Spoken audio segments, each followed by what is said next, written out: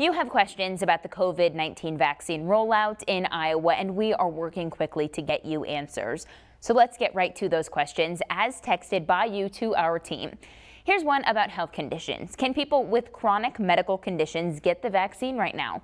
In Iowa, no. Right now, the second phase rollout of vaccines doesn't include people with underlying health conditions. The state advisory board making the rules for the vaccination plan hasn't outlined when that group of Iowans will get the vaccine.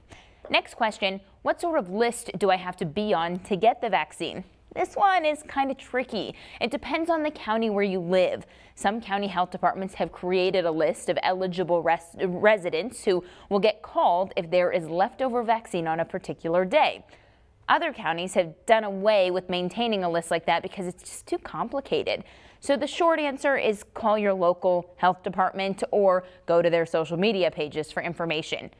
We are here for you, getting information that you can use about the COVID-19 vaccine in Iowa. Please continue to text us any issues or questions you have. That info is right there on your screen. I'm Sabrina Ahmed, Local 5 News. We are Iowa.